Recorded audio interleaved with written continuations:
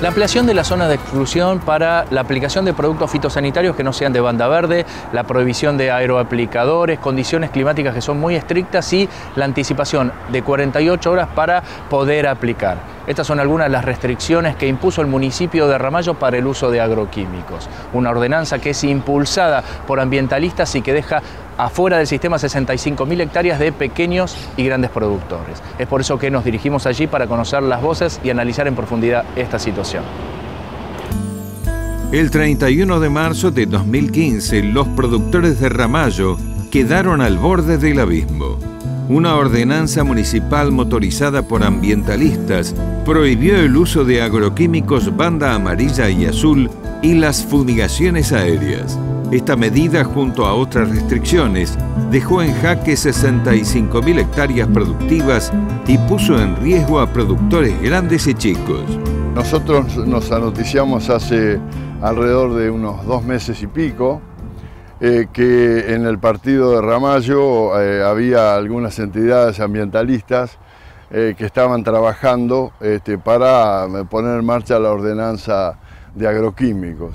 Empezamos a ver que había habido una especie de descuido de las entidades que estaban del sector, que estaban en el partido de Ramallo y habían avanzado tanto el municipio como algunos ambientalistas en esta ordenanza que realmente la veíamos complicadísimo para la producción. Y desde ya que saca del sistema productivo a mucha gente en un momento complicadísimo. Desde el 2008 hasta ahora todos estos grupos ambientalistas y, grupos de poder kirchnerista han seguido trabajando y una de las formas es este, el tema de los agroquímicos. Hay lugares en los cuales ha sido más fuerte y en otros todavía no se ha puesto en marcha, pero bueno, este, esto es una forma más de tener sojuzgado y castigar al, al sector productivo, sin ninguna duda. ¿no? Y la situación límite es la realización de esta ordenanza en donde se prohíben todos los productos menos la banda verde para poder ser aplicados.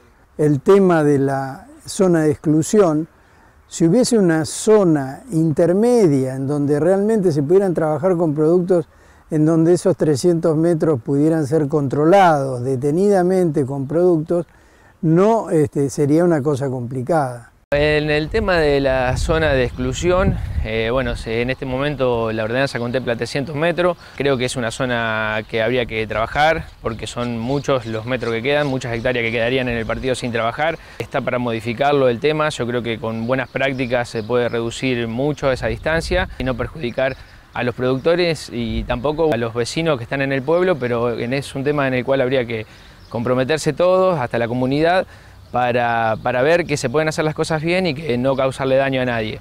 Y siendo un pequeño productor que tiene su establecimiento junto al pueblo, ¿cómo esta ordenanza impacta en tu trabajo?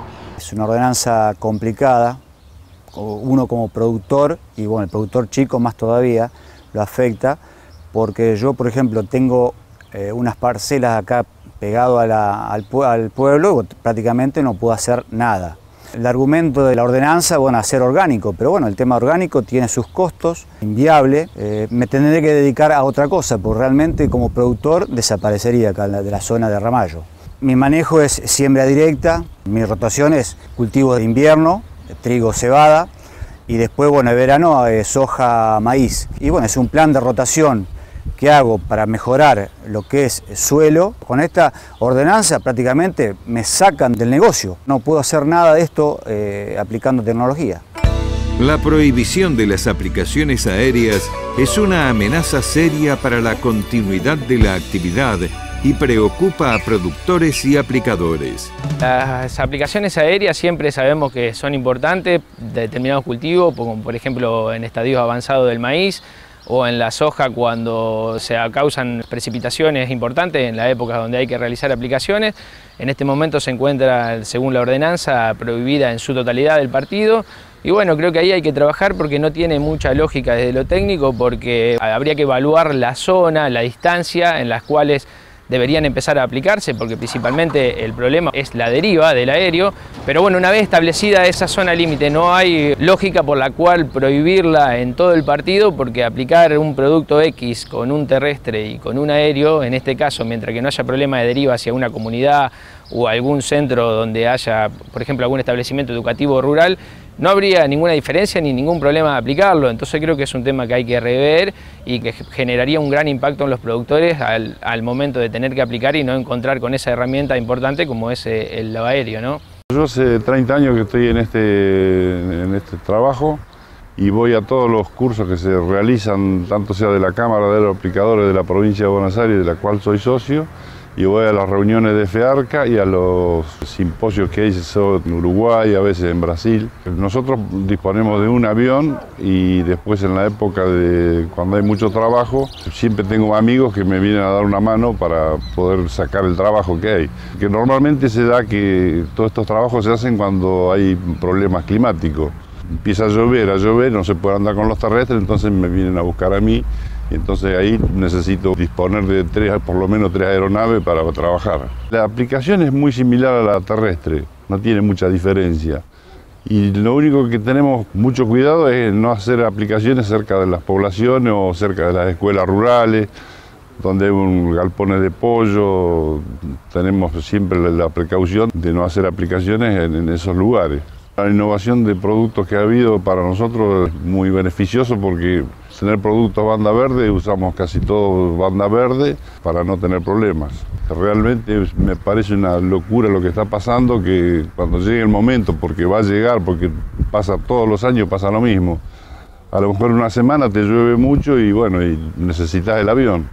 Yo no sé qué va a pasar cuando suceda eso, que no se pueda aplicar y la isocanticarcia, por ejemplo, que es un insecto devorador, ¿cómo lo van a poder controlar a esos insectos? Va a ser imposible porque con terrestre no se puede. Y en su modelo de negocio que agrega valor a lo largo de toda la cadena con un feedlot, ¿cómo puede llevar adelante con esta ordenanza sus actividades? Nuestra empresa se dedica a explotar campos en la zona de Ramallo, Pérez Millán, Ramallo, digamos. Básicamente hacemos doble cultivo, cosecha fina y gruesa. Está integrada también con un feedlot, creciendo para arriba y no en ancho, digamos campos que hace mucha cantidad de años que se trabajan a, a, los dueños, digamos, con una excelente relación. Y la ordenanza directamente nos saca del mercado. Es decir, no tanto por los 300 metros, que yo tengo muy poco predio afectado a los 300 metros, pero sí la imposibilidad de usar muchos productos que hay curasemillas que, por ejemplo, no se podría sembrar un maíz hoy en día con esta ordenanza. Productos que se usan en legumbres, que son de consumo y grano expuesto, tampoco se podrían usar. Insecticidas o la aplicación aérea, que es tan fundamental en caso de algunos ataques de plagas que son destructivas en el final de los cultivos, que ante una emergencia climática la mm, aplicación aérea está totalmente prohibida, digamos y volveríamos a labranza, después de 25 años de siembra directa, eh, con el problema de erosión que tiene el partido de Ramallo, donde prácticamente el 70% de la superficie está erosionada o erosionándose, volveríamos a hacer labranza donde sería un desastre para esos suelos. ¿no? De aplicarse esta ordenanza, nosotros estamos pensando seriamente en radicarnos en otro sitio, la parte de explotación agropecuaria, corrernos 70, 80 kilómetros, donde haya un partido que seamos bienvenidos. Alberto Amadeo analiza por qué, a diferencia de lo que ocurrió en otras localidades, en el municipio de Ramallo, la iniciativa no pudo vetarse. Pero no hay que olvidarse también los planteos de los otros partidos. En San Nicolás se vetó la ley, en Pergamino se vetó, se llegó a un acuerdo, hubo cosas este, realmente interesantes. Pero acá esto no fue vetado, tuvo un intendente que dejó caer los 10 días hábiles y la ordenanza, porque las ordenanzas son inferiores a la ley. Está todo en orden, consensuado. Y después se hizo hace tres años o dos años, en el 13 calculo yo, una firma de unas pautas para la aplicación de todas estas normativas, en donde firmaron las 14 entidades agropecuarias, entidades y organismos como ASAGIR, APRESIT, CREA, el Ministerio de Asuntos Agrarios, el Ministerio del INTA, SENASA por supuesto. En fin, hay una cantidad de organismos y de instituciones que firmaron todo esto. Y se llegó a una de las tantas conclusiones después de consultar 159 trabajos internacionales, en donde en distintos lugares de Europa hay 5, 10 o 0 metros con respecto a la zona periurbana, y se llegó a la conclusión de que sería conveniente dejar 100 metros para la parte pulverizaciones terrestres y 200 para las aéreas. Toda la tecnología ha cambiado, es como también cambian las enfermedades y, las malezas. Por ejemplo, estaría permitido el carbendazim. de hace 20 años. El carbendazim solo no sirve ni para espiar. Entonces todos los hongos que ha habido, los cambios que hay en los hongos, no pueden ser combatidos por esta ordenanza sobre la cual estamos este, pensando, pensando, observando. Los productores analizan el futuro y advierten la necesidad de contar con mayor participación de sus pares en la discusión. Yo tengo la, la ilusión, porque ya a esta altura tengo ilusión, que esto puede ser este, revertido y que la cordura va a primar de aquí en adelante. Lamentablemente, tanto las provincias como la nación en algún momento van a tener que poner en marcha las leyes que ya están. Sabemos que las provincias y la nación ha delegado a los municipios todo lo que es el tema sanitario y llegamos a este desmadre que tenemos. La inseguridad jurídica y la imprevisibilidad hacia adelante hace que, bueno, hoy estemos complicados económicamente, productivamente y este, anímicamente también, ¿no? Realmente es toda una situación complicada, eh, va a quedar mucha gente fuera del circuito, esta situación va a traer conflictos de otra índole, y sobre todo sociales. Las nuevas enfermedades de antivirus, el combate que se hizo con mal de los rastrojos, las ratas empiezan a andar por todos lados, ahora en los lugares con muchas malezas. Y acá hay una rata especial, una rata colorada, que es muy complicada, que también ataca los cultivos, se come, se come cultivos. Y el tema de quienes estamos más bien cerca del río, el tema de las yararás, que ya hubo un caso importante en donde un chico quedó bastante complicado con el tema de, la picadura. Este es un problema anticonstitucional que margina a muchas actividades, que deja a gente sin trabajo y esto es consecuencia nada más que del grupo de políticos responsables del Partido Ramallo.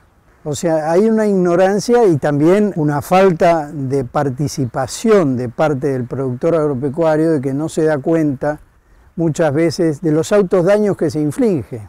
O sea, la no participación por un lado y la ignorancia de parte de las agentes, donde el marco del ingeniero agrónomo durante mucho tiempo, como sabe muy bien, este, era visto de distinta no era bien visto. Pasados los años, hoy asumimos responsabilidades muy importantes y, este, y desde el punto de vista de investigación y aplicación de la investigación, son patrimonio de los ingenieros agrónomos. Y, este, y esto tiene que ser reconocido de alguna manera.